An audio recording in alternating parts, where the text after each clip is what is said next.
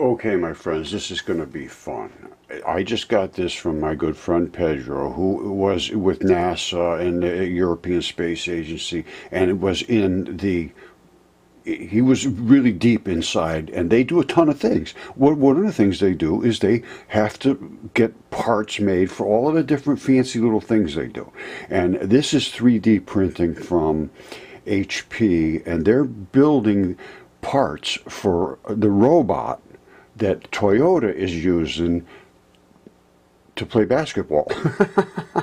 I mean, you know, it's, it's a crazy world. I'm sorry, this is, the, the, things that tie together just are unbelievable. But anyway, um, Pedro has he, apparently they send he sends me a ton of stuff, and the reason is that they send him a ton of stuff because this they're only like a couple of minutes long, but I'm sure they send them out to all because he I'm sure he quoted and they bidded and all that stuff of, for you know, he was really deep inside there. So they probably reached out to him like a ton of times every day. Here we're doing this. Hey, we got this. We got that. We got that. So he's getting so much information for me. It's absolutely amazing. And this blew me away because when I show you, where do you see what they did with this robot? Here's the 3D printing of these parts. And they needed all these really specialized parts to make this robot work. Now watch this. I turn the sound off. Now, it's just a, a robot. They put the give him the basketball. He takes the ball, just like a regular guy, and shoots it. Now, he's got to have rotation and this and that and all these different things going on, just like a human body.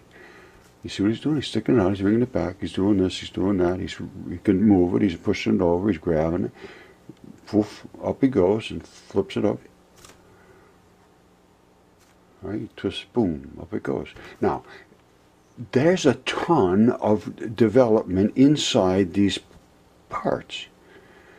Look here, here it is. All right, I'm just going to stop it here to show you the. part. They have just so many little parts interacting, swiveling, pivoting, twisting. Have they have stops set in, and they have frictions designed into them. I mean, it's just.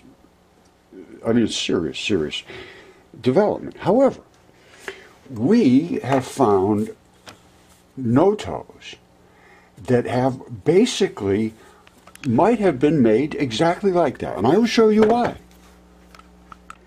All right, now you just saw what you were looking at. I mean, this could be the damn same part. This is a foot from what we call the Notoes. I discovered these in 2012, and I have I have a vast quantity of these, but mine are all almost completely intact. I mean, it's virtually perfect. This is where the fibia falls off the side. It made it right up here. That is where the tibia saddles across the top. And it's the, the toes are inside, but this is all. If you, I looked at it in the microscope and checked the whole thing out, and it almost looks like it had a medallion on the front, doesn't it? and the other ones have very, very similar looking stuff. Anyway, let's look at, she's got a ton of these. This is Tish Egerton. Here's what happened. This is crazy.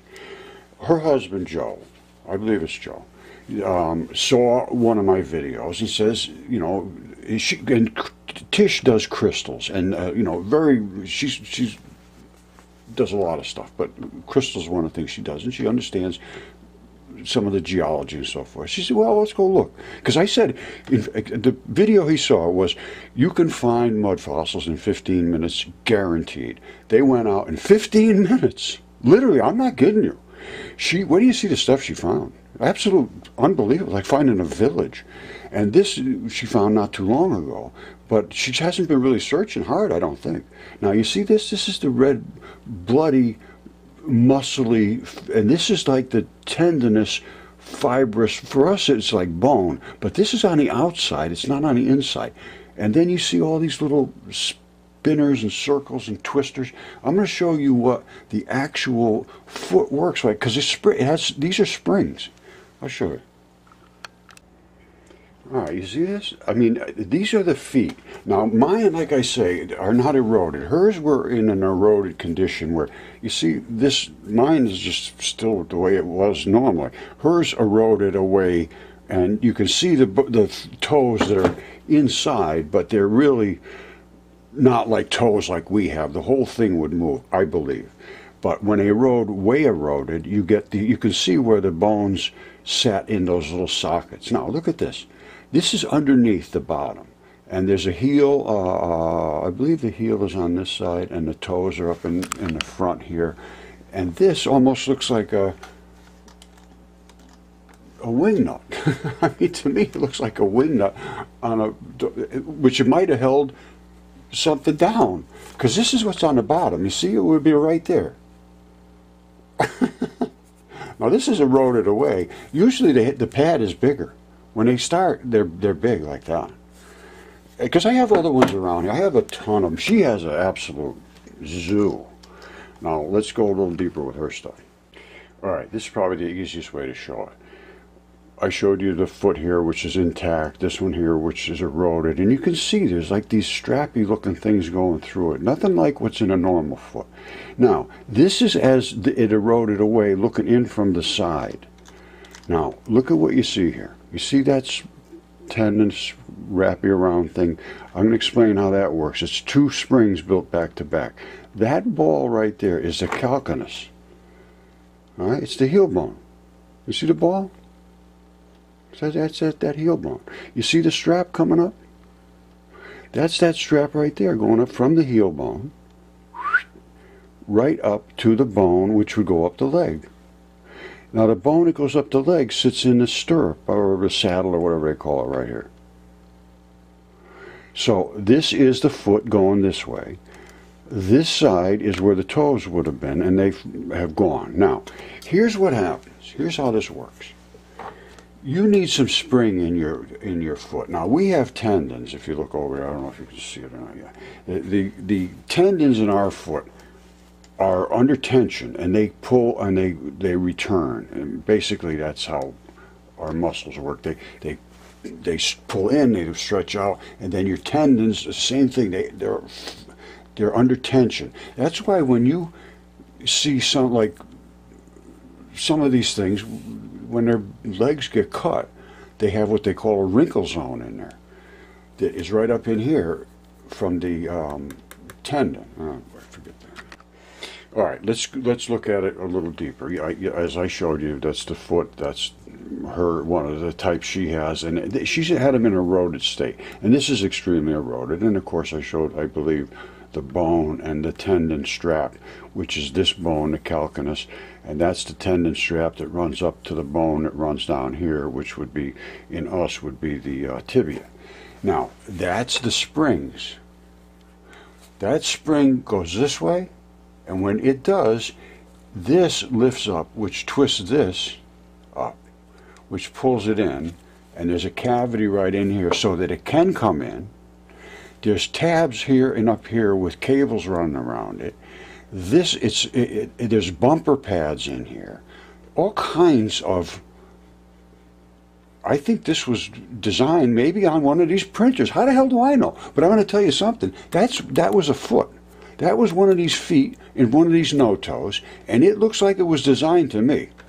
That obviously is not what it's not not what's in our foot. I can guarantee you that. That part maybe, but tell not that.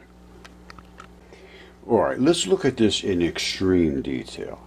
As I showed you before, that's the calcaneus, the round bone in the back of the foot. It's our heel bone right there, the heel. That's that strap, which is the tendon strap that runs up to our leg bone that would come down. And it would be a bone, this is another mud fossil. And it would be a bone that sat about like this in that saddle and it would be able to rock and do so forth. And there would be tendon straps coming down from it and muscle fibers and so forth going up. Which we saw had a plate, like a, a plate. Uh, It's, it's, there's a lot of work to do here. But I could tell you what, I did a lot of work, and, and, and I work with Tish quite a bit. And I looked at this stuff in extreme detail. It's just my nature. I can't help myself. The toes were here. All right. Now look at this. You see that? That's a tab, and that's a little cable, and that's the other side of that tab, and that's the other side of that cable, and it ran up through, somehow through here and down to here. This is a cavity. That cavity is there so that this can pull up this way. And why would it pull up that way, Roger? Well, because the toes would be out here and the foot would go this way. The toes would push this up. All right, as you push down on your toes, they're going to obviously push this up. What's going to happen? It's going to unwind. When it does, what happens here? We're going to pull that latch in. It pulls that latch in, which pulls this cable in, which pulls this in, which sets this up under compression. This is already under compression. Now this is under compression. And this is a bumper pad, so if you jump real hard or boom, it didn't hit too hard, there's a bumper here and a bumper here. I mean, it's, it's, it's unbelievable. I can't, I can't account for this. All I can do is tell you it's here. Look at these little things here. It has something to do with running up to this spring. I don't know. There's so much to look at here. Eh, and I have. I've spent a ton of time digging through this. And it is what it is. There's a spring. There's a secondary spring. So if you walk easy you're setting this up back and forth, back and forth. You jump, it goes way up. This pulls way in. You got to dip, dip, dip, and you come right back down to flat. The heel's over here. The heel just does what the heel does. The heel just bangs on the ground. and that strap goes up to the leg.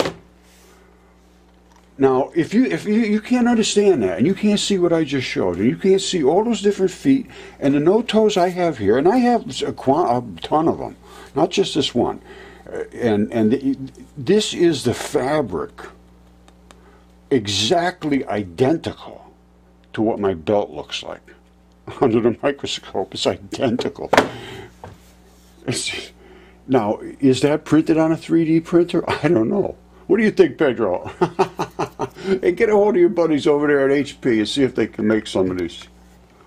All right, this is obviously some form of a tracked vehicle that was created specifically to work in this soft environment.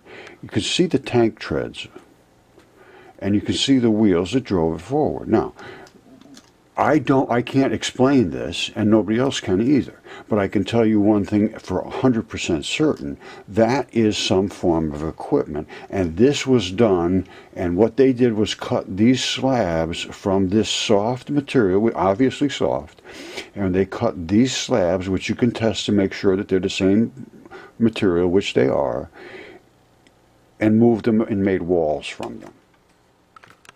All right, these are where they cut the slabs off the side from that vehicle driving up this wet, soft material, and they built these walls in the back.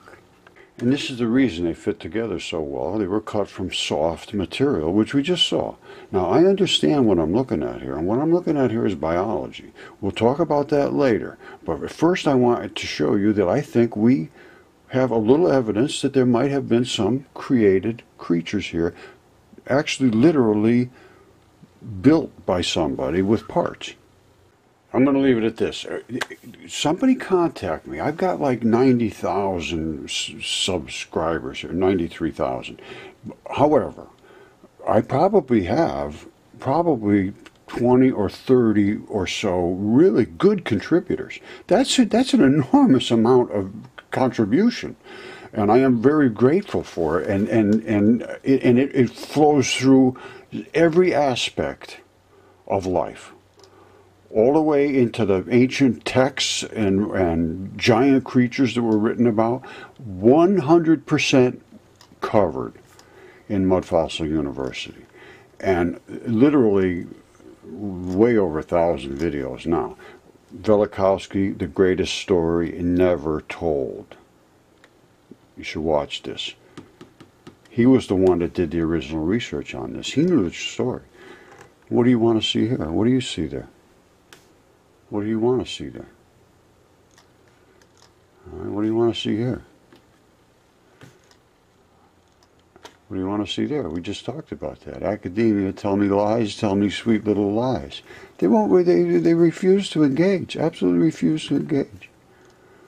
This goes on and on. Now, let's um, let's call it quits here. But I I would like to see somebody do uh, even a, a, documentary on this new evidence because once you start from the beginning where we just started from, like evidence of the particles in the nucleus, I'm actually showing them separate. That's light. And I can show the black separate from the white. Everything that I have shown, I can stand behind. If somebody can say, oh, you're crazy, and then prove that I'm crazy, that's fine. But peer review is being reviewed by a peer reviewer, and it's not good. And I am going to make sure that their peer review of peer reviewers is is credible.